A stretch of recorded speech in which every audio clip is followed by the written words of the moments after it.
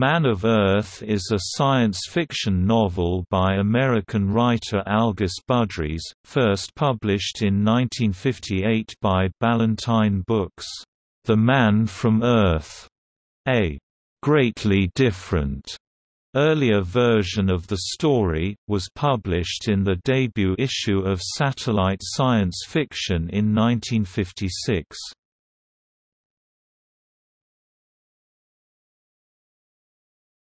Topic. Plot summary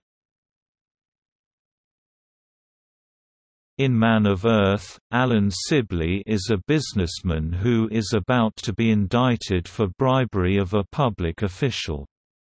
Desperate to escape prison, he pays a fortune to the mysterious Doncaster Corporation for a new identity, and a new body and personality to go with it.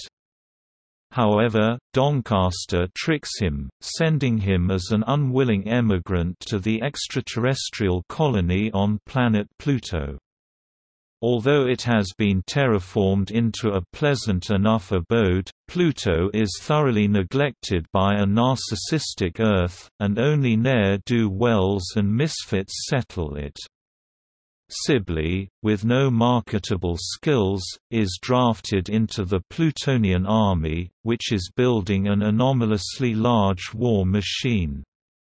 His new commanding persona makes him swiftly rise in rank, and he soon concludes that Pluto intends to invade and plunder its neglectful mother planet. Instead, Doncaster suddenly reveals that the Pluto colony was created by them as a stepping stone to the stars, and that Earth will be left to go rancid, while new men, like the rebuilt Sibley, conquer the universe.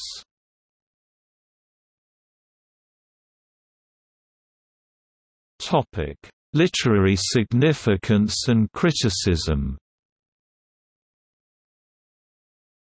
Galaxy reviewer Floyd C. Gale wrote that Budrys had cut a complex tale from simple cloth.